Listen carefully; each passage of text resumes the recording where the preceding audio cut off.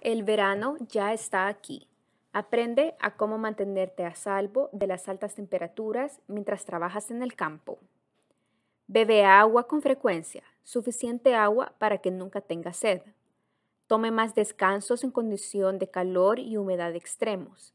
Tome descansos en la sombra o en una área fresca cuando sea posible. Si va a trabajar al día siguiente, evite las bebidas alcohólicas porque pueden deshidratarle.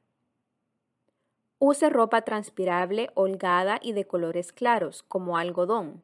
Evite la ropa sintética que no respira.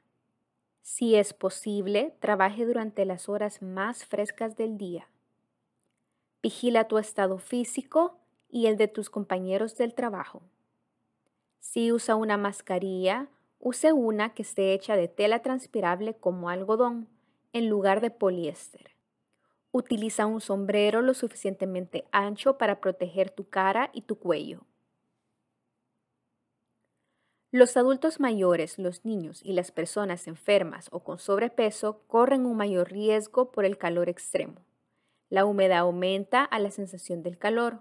Por lo general, en los campos es de 10 a 15 grados Fahrenheit más alta que el promedio nacional.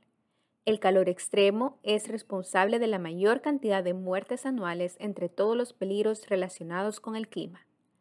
Este verano, mientras trabajas en los campos, recuerda tomar abundante agua, descansos en la sombra y mantente a salvo.